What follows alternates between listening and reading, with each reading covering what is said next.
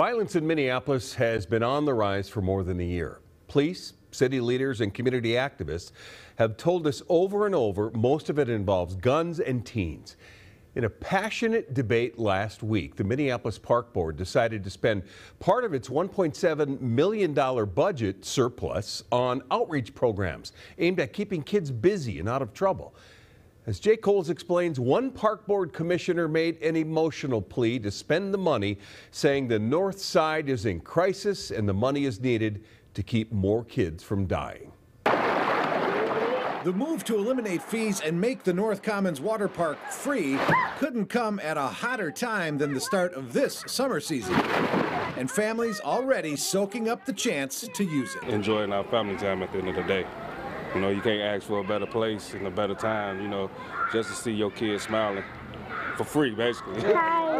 Some didn't even know they were about to get a bonus just for showing up. Really, then we get up to the front and they say it's free.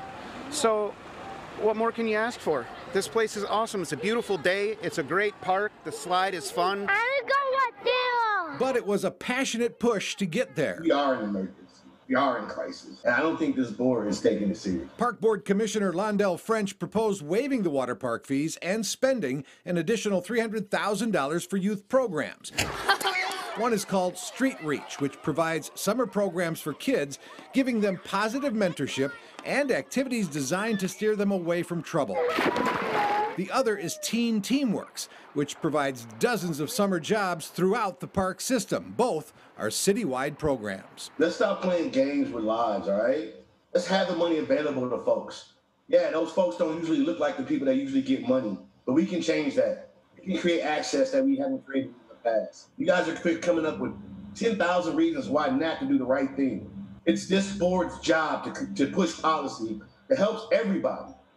Not just the folks who live around Lake Calhoun or Lake Bde Maka Ska or Lake Harriet, everybody.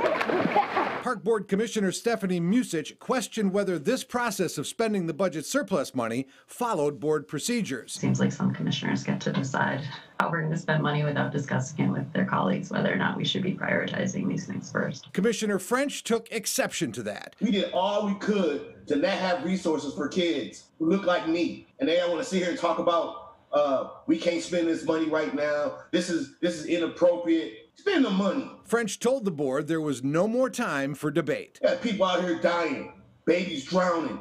Three hundred thousand dollars in the grand scheme of things is nothing.